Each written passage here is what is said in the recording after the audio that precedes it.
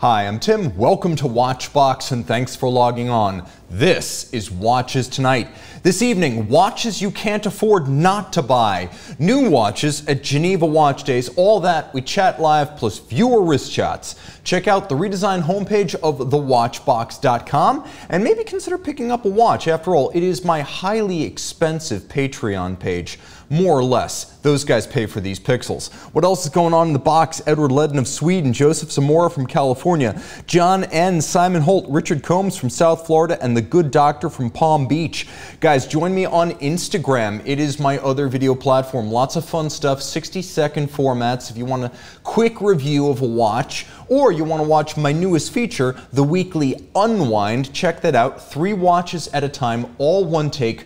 Fun with the most impressive watches we have in the collection. It's always complications, indies, rarity, and vintage. So check out Tim underscore Mosso on Instagram. All right, Norm M from California, Dark Star from Orlando, Florida. We got Scott Wexland from Westchester, James Fernandez from Denver. We have Enrique Casiano, and we have Gail Mibson, Burning Mr. B, Brick Lane, John Goodman, Joshua K, and Eric Nielsen from Asheville, North Carolina. Andre is staying up late with us in London, and we've got Michalis, who is joining us alongside Eric Rudout, Ethan Davis, Zaffer, and Mark S. from Brooklyn.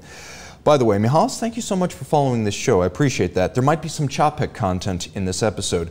First, viewer wrist shots. David T. of California shoots a Rolex his and hers with one, two, three, four, five, six Ferrari F50s. That's the kind of thing that happens during Monterey Car Week. Tom B starts the weekend with his Patek Philippe Calatrava 6006G, looking good. That is one of my favorite Calatravas. Yukai captures the Hong Kong skyline with his Patek Philippe 6119G. And Jeffrey C wins the incomparable Black Dial VC's Self-Winding Award. Anyone who sends a picture of that watch wins that award for this episode because it is a personal favorite of mine. We have Paolo M. of Philadelphia who showcases his AP Royal Oak chronograph on a business day, looking good. And Robert A. of Long Island stuns with his rose gold gradient dial AP code 1159 flyback chronograph. Guys, send your wrist shots to Monday mailbag at thewatchbox.com to see your wrist on my list. Okay, Chaz from the Berg saying, Happy Monday, Tim. We've got Antelope 1013. We've got Eric Hobbs, who's glad to be viewing, and I'm glad he is viewing. We've got Just in EDC from West Virginia in the United States, and we've got Kevin E from Sydney, waking up early in Australia. Keystar G60, I see you there. All right, watches you can't afford not to buy. A lesson I learned from my youth, and truth be told, also in young adulthood. Oftentimes, there were cool old cars and those were the cars that I wanted. I didn't want new cars when I was a kid. I was car obsessed, but I didn't want the new stuff. I wanted old things. 40s, 50s, 60s, and 70s. That was my bag. And I used to track sales listings for 1957 and 1958 Chrysler letter cars. They were the AMGs of their day. Old guys at the time sold them to each other for 15 to 20 grand all day long on specialist websites before the days of Cars.com, Auto Trader, and Carvana. Today, they're like 70 to $100,000 if you want one like that, and up to $200,000 for a convertible. I knew what I wanted at the time, but the lack of means meant I missed my window to buy these things before they were discovered. And they were discovered, and in the era of Bring a Trailer, they are now unobtainable. So don't be like me. When you know you found an unrecognized watch, something cool but not yet hyped, and you know that it's only a matter of time until the secret's out, don't wait forever if you love it. Don't be like the younger version of me. Go out and get that cool watch. The cost of not buying the watch literally might be that you can't afford its price once the Hodinkees and auction houses of the world rain on your parade. So here are some unrecognized, or I should say underrecognized, because they're known, but they haven't yet hit boiling point yet under-recognized watches we will all wish we bought, starting with a relatively recent one from 2016. If you recall that year, it was the third generation debut for the Vacheron Constantin Overseas. The third generation was all new. For the first time, we get Geneva hallmark movements, we get display casebacks, and we get a bunch of manufacturer calibers this one did not have a manufacturer caliber. It was also the rarest of the third generation. It is the Overseas Ultra Thin. White gold, no date, and I would say it was sort of a taupe sunburst dial. 40 millimeters in diameter, only 7.6 millimeters thick. It was ultra thin, and that largely due to the lack of a date. It had the great caliber 1120 based on the old JLC ebauche 920. It had swappable straps and of course that beautifully balanced, perfectly balanced no date dial. It retailed for 55,750. We've had this watch once. And in eight years I've been doing this, I can't say that there are many mainstream brand watches from Richemont companies that I've only had once. That is the watch on my wrist. And we sold it for right around what it retailed for, which told me that back in 2019, when we sold that watch, the market had not gone nuts. Right now, on Chrono24, eBay, you won't find any of them for sale. So I can only guess at what it might sell for today, but I'm also willing to make a definitive statement on the matter, which is that Patek made 170 of these. And from my sources, Vacheron made fewer than 100 of the overseas ultra thin. So you could pay four to six million dollars for one of the Dash 18 5711s, or you could go out and buy a rare Vacheron that is even scarcer, more special, less cloying and contrived. Keep that watch and enjoy it long term. And if the time comes, retire to a glorious penthouse when you sell the thing at auction. But here's where you don't want to be. You don't want to be looking to get into that watch at a time when the auctions finally realize how rare and special and desirable it is. Buy it to love it, not to sell it, but do buy it if you have the chance, because this one won't be cheap forever. I can see $200 to $300,000 in the next decade for this watch, and I can maybe even see that happening in the next five years. Once we get past this tentative economic moment, I think that thing is going to be a phenomenon. Okay, Rolex Sea Dweller 116600. Everyone bemoaned the end of the 40 millimeter Sea Dweller when the Deep Sea arrived and killed the 40, as they said, back in 2008. Well, the Deep Sea might have done in the original 40, but it wasn't the end of the line for that case size. At Baselworld 2014, Rolex launched this 40 millimeter Sea Dweller, and in a lot of ways, this is the modern steel Rolex sports watch to buy. Why? Because they only made it from 2014 to 2017, and for a Rolex steel sports watch, that is a hell of a short run.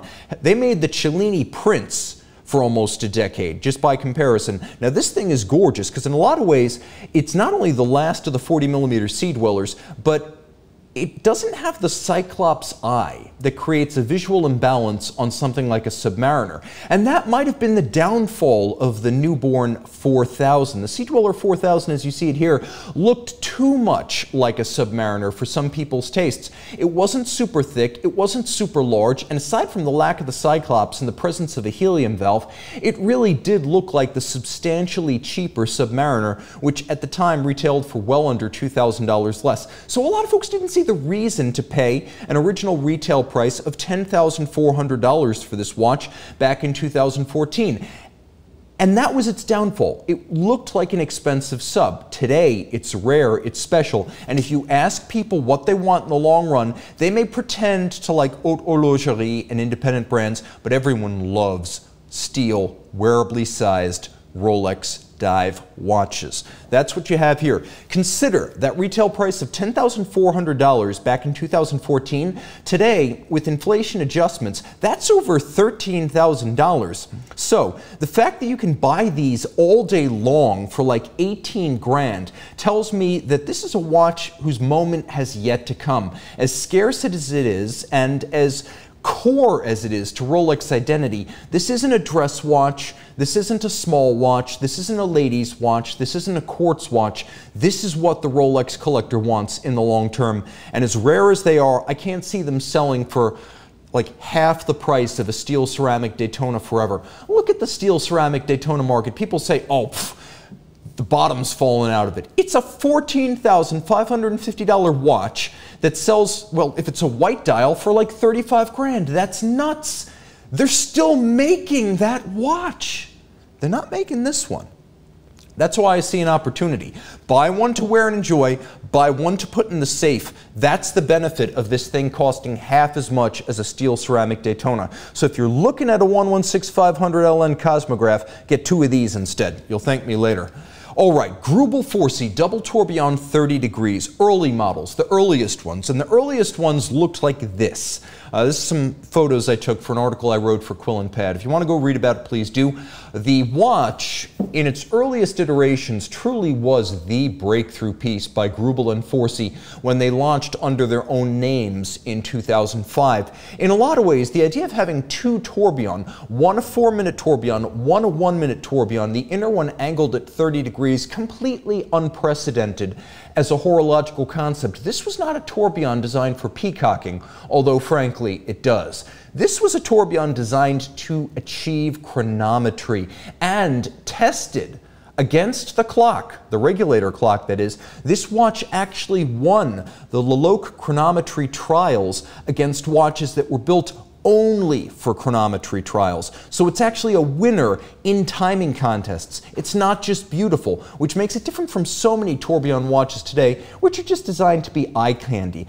Now, you know you're looking at one of the earliest versions if you turn it over on its side and it looks like it has a strip of mustard. That's a little sine wave on the case designed to reference what's going on with the movement. And it's important to say, I don't think $270,000 watches as a rule are great bargains, but you have to look at the horological significance significance and rarity of these. In the early days, not only was it a breakthrough watch for one of the great modern independents, it was their premier model, their first fundamental innovation, and they're only building a few dozen pieces in those early years. So these early models are really rare.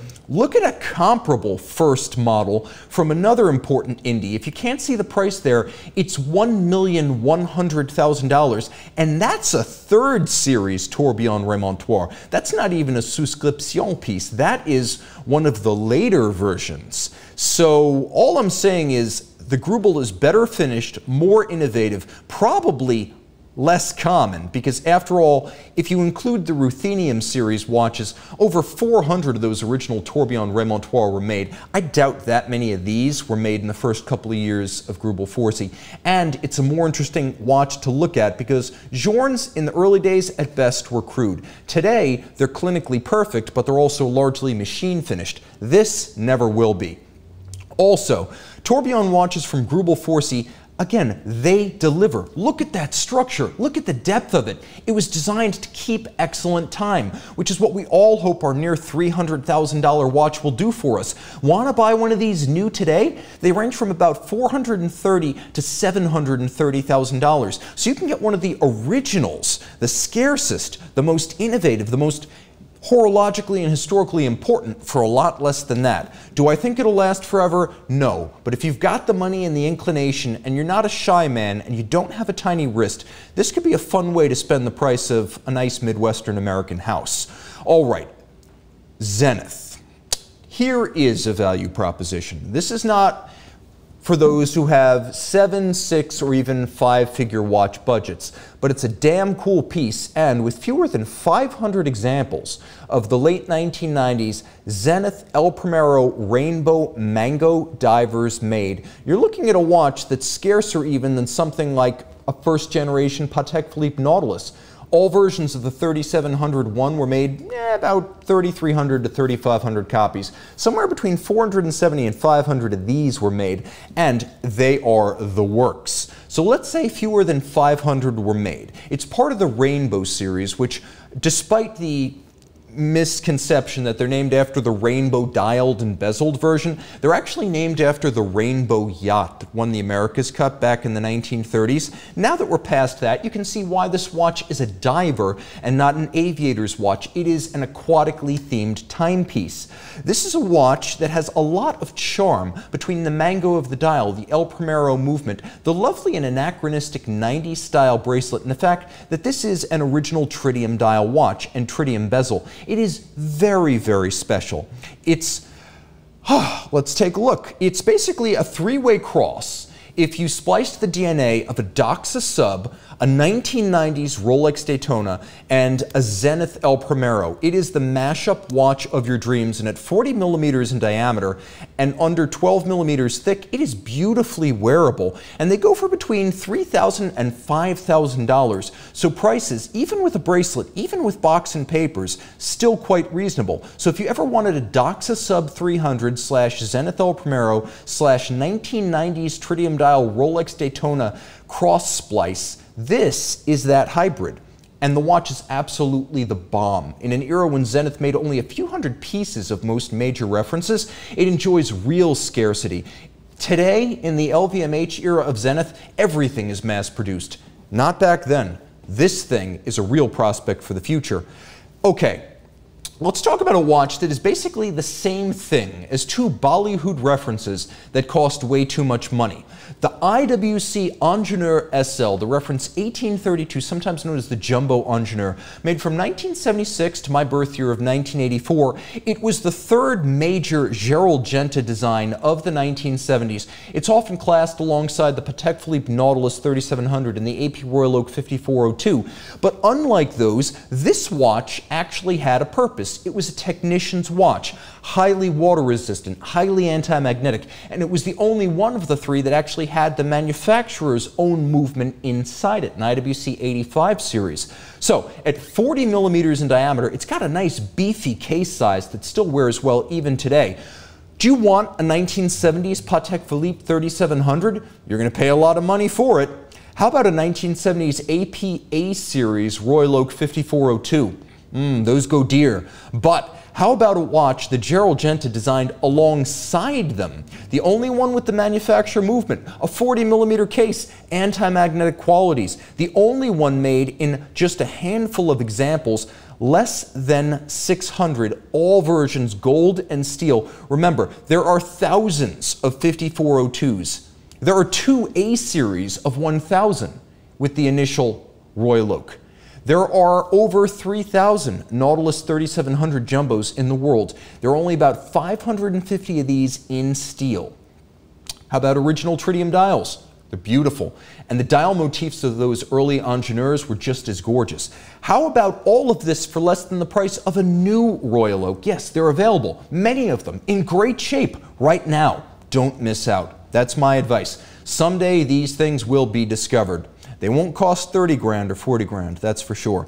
All right, let's see what's going on in the box right here. Guys, viewership is doing well. Let's see if we can get this thing up to 500 because we're about to talk about Geneva Watch Days and 2022 models.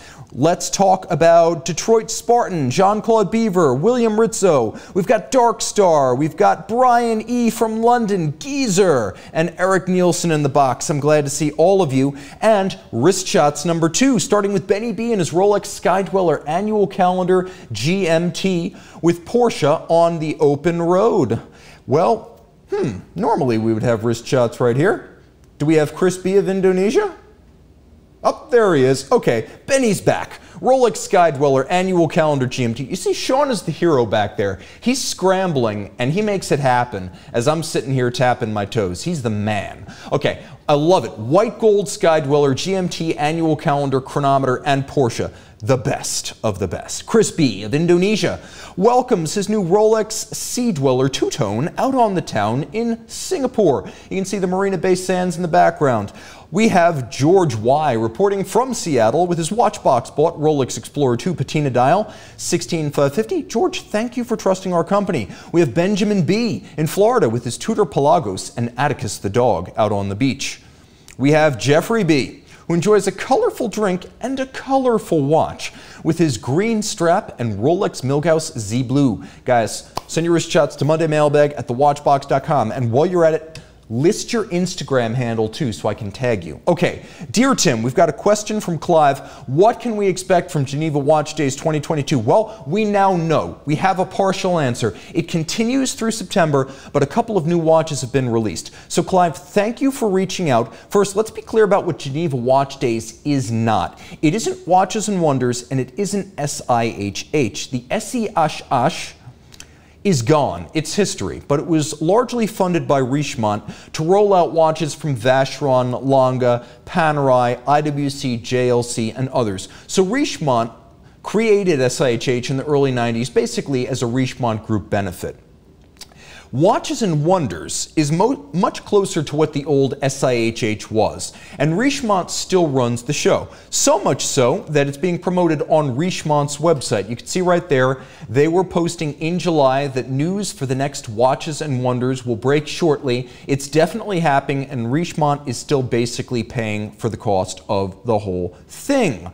Uh, but I will say this, it was held this past spring in Basel's old calendar slot. SIHH used to be in January, Basel used to be the end of March, beginning of April. That is now where Watches and Wonders sits.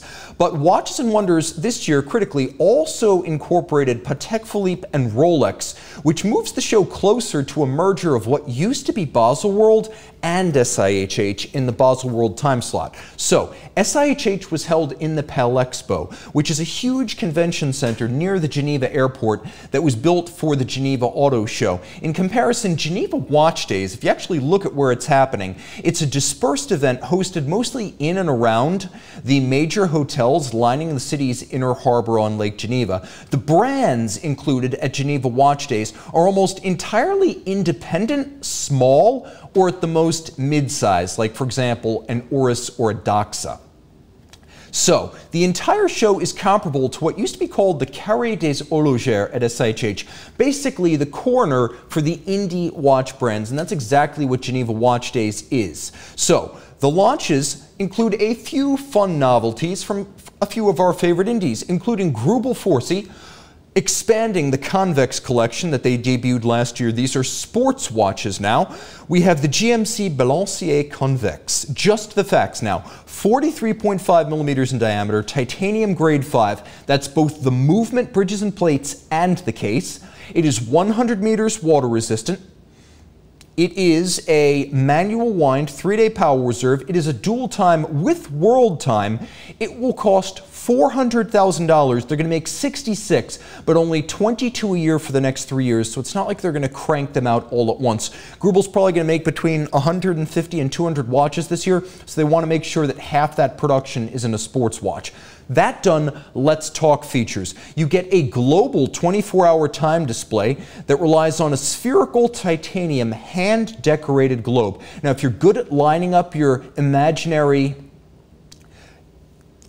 meridians, you will be able to use the 24 hour ring around it as a world time. That said, we're not done. There is also a secondary time zone, which you can see peeking in from the left side. So you've got your primary time, you've got world time, then you've got a true secondary time zone. The hours and minute hands for the primary time zone are orbital. They actually rotate around the globe. And then you can see that secondary time zone off to the side, making the reading of a secondary time zone a lot more intuitive than visualizing the time on the globe finish is world class. You can see it everywhere from the completely rounded and specular finished black polished balance bridge to the rustication and the texturing of the grade 5 titanium bridges and plates. The screws are the proverbial 100 Swiss franc screws because of how much time and effort they take to create. A second time zone sits right over at 9 o'clock, and if you look just below that, you can see the signature oversized angled balance that has been on Greubel Forsey watches since the very beginning and the tourbillons. We have the case back that simplifies the world time setting and reading as we now have 24 principal time zones represented by reference cities lacquered on a sapphire disc. You have summertime read from the central scale. You have standard time read from the outer scale. Again, for setting and reading the world time, this is really how you're going to do it. You're not going to use the globe. And all of this is quite intuitive. The watch is designed to be user friendly, comfortable, and polyvalent, so you don't have to worry about shocking it or getting it wet. This is a new world for Greubel Forsey, and I'm not going to lie, they are relying on sports watches to help them move beyond their historic 100 to 150 pieces a year. They'd probably like to double that and get up to 300, and they're going to do it with the Convex collection. So there will be more in this collection. Stay tuned. All right, what's going on? We've got Danny joining in from Israel, staying up late with me. I love it. We've got Jeremy D. Good to have watch goals. We've got Luis Q saying, Woke up in Guangzhou to this episode. Thank you for getting up early in China with me. Guangzhou, that is that is an early morning for you. We got Christopher H saying, "Holy moly, that Greubel Forsey is ridiculous." Thomas Burnett, amazing technology, but a bit discombobulating to look at. We got Demetris saying a nice thing about me, which I hugely appreciate. Greetings from Cyprus. He's also staying up late from the Mediterranean. Gotta love it, guys. All right, now MB&F, the Legacy Machine Split Escapement Evo. It's no secret, indies are pushing hard into sports watches. In just the last year, we've seen new sports watches from Greubel Forsey, from Lang und Heyne, from Czapek, from MB&F from Romain Gauthier. It is the thing today. This is the Legacy Machine Split Escapement Evo. Evo means sports watch. So in keeping with the MB&F Evo line, a previous dress watch is redesigned to gain 80 meter swimmable water resistance, internal shock absorbers, so you can basically punish the watch, and an integrated rubber strap with a new case. The original late 2017 split escapement design was a Stephen McDonnell collaboration that separated the dial side balance wheel from the case back lever escapement, and it was gorgeous. But MB&F has rotated the movement to change the balance of the dial, but the caliber on the reverse side remains artisanal and traditional. Manual wind, two barrels, power reserve is 72 hours, a date and a power reserve indicator are present on the dial, so there's a little bit of complication. Case size is 44 millimeters in grade 5 titanium, so it's going to be very light and it's going to be very scratch resistant. Dial options include the light blue that you just saw and a black dial 25 piece limited edition for an upcoming MB&F lab outlet in Beverly Hills. Pricing will be $80,000 for both versions of the watch. Whether it's the LE or the standard model, it's going to be 80 grand in US dollars. Availability soon, and of course, Max being Max, I'd be shocked if that's the end of it, but we'll probably see a couple of different case materials and different dial colors. Okay, Czapek. These are the underdogs everyone loves to root for.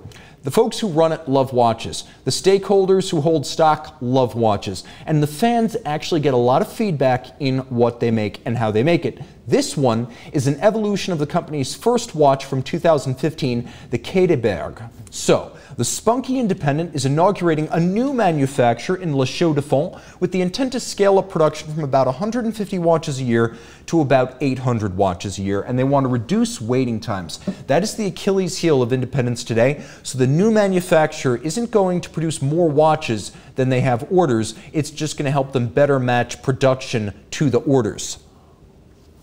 We have two dials in vivid colors, emerald green L and sapphire blue L. What are they? Well, each dial combines what they call a ricochet guilloche pattern that is cut on a traditional rose lathe with a translucent lacquer to create what's often described as a flinqué effect. When you have a translucent lacquer or translucent enamel on guilloche, it is called flinqué and it has a wonderful depth to it. Donze Cadran, which is a dial company owned by Ulysse Nardin, is fabricating the dials, and Czapek is proud of it. They always announce the folks that make their parts, their partners, like, for example, Chronode, Metalem, or Donze Cadran, always get acknowledged, and I love it. If you're an etablisseur, celebrate great suppliers. Don't pretend you do it all yourself. So, caliber SXH01 receives an architectural redesign. You now get a free sprung balance that makes it a little bit tougher and easy to adjust precisely.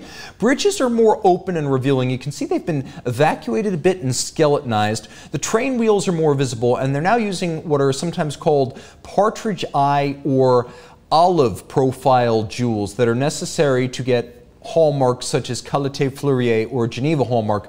This watch doesn't have that yet, but they're laying the groundwork, I think, for a future edition with those new jewels. Here's the original movement, so you can see how it looked originally, uh, particularly the drivetrain leading down from the second barrel is less visible, and the open bridges on the new version of the movement just make it a little bit more enjoyable to loop.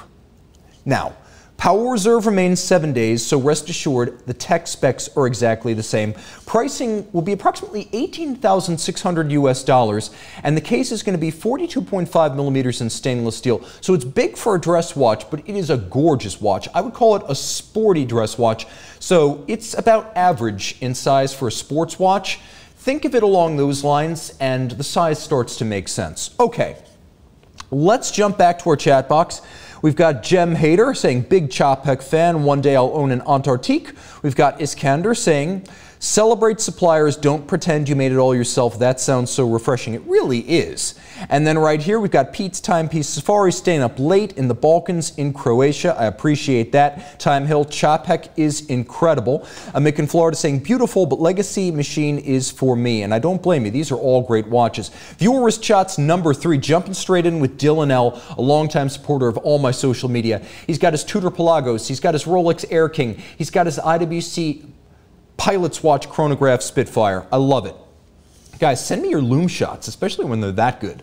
We have Derek D and his Tudor Black Bay chronograph Panda reporting from the Hard Rock in Tenerife on vacation. We've got Abdul R, who holds a PhD in engineering, engineering some vacation time with his Casio in Egypt. We've got Hunter M, who's a man after my own heart with his Mustang 5.0 and Speedmaster Racing. You can see he's done a few mods to that S550 Mustang. And Mikhail B of Poland rolls with his Breitling Avenger GMT Night Mission and Volvo. Staying safe. Send your viewer wrist shots to Monday Mailbag at thewatchbox.com and include your Instagram hashtag. Okay, Geneva Watch Days continued. A bit of a revival. We all love a comeback. We've seen a couple of them in recent years. Laurent Ferrier was on the mat. At one point, De Bethune was close to bankruptcy, and Haute was basically dissolved as a going concern. But with the right management, some seed money, and a little bit of help from their friend, Haute is back with two new watches that leverage its MELB Moser link. So this is the Linear 1 Series 1, which combines Haute signature case shape with a movement fundamentally based on Moser's HMC 804 automatic flying tourbillon with double hairsprings. The Linear has all of that plus two retrograde scales, one for hours, one for minutes, an unconventional retrograde as you can see, based on a complication module created by Agenhor, which is a august and esteemed complication and movement specialist. This watch is automatic winding with 72 hours of power reserve. Water resistance is a useful 100 meters, and the steel case measures 50.8 by 43 millimeters. It's only 11.9 millimeters thick. The 28-piece limited edition, and that will be the initial edition, there will be other series, is priced at approximately $61,000 US, which seems like a good value for the amount of high horology the complexity that you get and also the rarity of the watch. Uh, this is a cool watch. Stay tuned. I hope to have one relatively soon for videos. So if you're not following me over on Watchbox Reviews, definitely do that because I know for a fact this watch is coming to my office and I'm going to do a full hands-on with retrograde action. Okay. Also new is the Vagabond Series 4. A familiar name from the world of FP Journe, Haute has been making Vagabond Wandering Hours watches for a number of years, as the first one came out in 2018. Moser fans will recognize the C806 movement at the heart of the Endeavour Flying Hours model in Haute packaging. However, an aperture-style hour display significantly simplifies the process of reading time, which, if we could jump back for a second, was a major drawback of the original Moser design. Sometimes you would see two hours at once, and it was not intuitive. The dial of the new Haute Lance Vagabond is frosted and rhodium plated, which is just gorgeous. It twinkles like diamond dust. Moreover, the Vagabond's steel case and 100 meter water rating improve its practicality compared to the precious metal Mosers, which are just 30 meters rated. The 28 piece initial edition will be priced at a number to be ascertained. It hasn't been released just yet, but we expect to see it by the end of the Geneva Watch Days show. Probably going to be somewhere around half as much as the Tourbillon, if I had to guess. So consider this a hard relaunch for the brand. Georges-Henri Meylan and his sons, Edouard and Bertrand, acquired Haute Lance in 2012, right around the time they were picking up Moser. Uh, they are a management group run by business professionals, very different from the kind of creative folks and story eyed dreamers who often start watch brands and run them into the ground. So the Meylans resurrected Moser. Their next project is going to be Haute Lance. Haute Lance was a standout indie back during the 2000s. Founded in 2004, it focused on rectangular watches with big size, jumping displays that were either jump hours or retrogrades. And it had a lot of success in its early years, but lost its way in the 2010s with successive years of weak sales. Uh, personnel changes, uh, upheaval within the brand, and frankly, they didn't have the best marketing at the time. Previously, Highly complicated Moser watches would draw on Haute Lance for movement help, as Haute Lance made many in-house calibers, and that was probably one of the reasons they failed. They tried to make too much in-house too quickly. Well, the reverse is going to be true today. Economies of scale, shared tooling, and costs will allow Haute Lance to use Moser movement bases to get back on its feet as a brand. But as you saw with the Vagabond time display, as well as the Linear, they're going to put their own stamp on on it, and they're going to add their own type of complexity on top of the Moser bases. So Sam Hoffman, who's the son of noted watch industry executive Patrick Hoffman, will be running the rebooted Haute Lance under the mentorship of Edouard Meylan and Bertrand Meylan. So they've got all the right ingredients, but Full disclosure, of course, Patrick Hoffman is the vice president of Watchbox in Switzerland, and Sam is his son. So I just want you to know reliable sources. We do know the Hoffmans. Sam used to, I believe, do work for IW Magazine back when we had that. So there is a family connection here, but I know that Haute Lance is going to be in good hands. All right, let's see what's going on in the chat box. Guys, What's going on? Hans N. Junior Johnson. We've got Neff and we've got Talking Watches. Time Hill, pronounce JLC correctly and let me know. My best effort is something along the lines of Jaeger LeCoultre. It is Jaeger LeCoultre, and it is not Jaeger, because Edmond Jaeger fled his home in Alsace-Lorraine during the uh, Franco-Prussian War of 1870. Fleeing the Germans and going to Paris, he would not have pronounced his name Jaeger. That's how I know. All right, Mamba, and greetings from California. Jumping back, Oris saves the day with a vintage inspired diver that costs real world money. All of these crazy indies and their five and six figure prices. Behold the Oris Diver's 65 12 hour caliber 400. 40 millimeters in stainless steel and only 12.8 millimeters thick, which is impressive. This vintage homage diver can be ordered on a strap or on a simulated rivet bracelet. This Oris bezel is calibrated to 12 hours and it has a depth rating of 100 meters. That 12 hour bezel is true to original Oris 1965 divers, so this is an historical homage. It's bidirectional as well, so this is not a modern day ISO diver. It's seen as more of an adventurer's watch, with the intent being that you will will use the bezel either to calculate a second time zone or to use it to time extended intervals of hours, not minutes. But it's the movement with its five day power reserve that really sets this apart. Did I say five day power reserve? How about a 10 year service interval?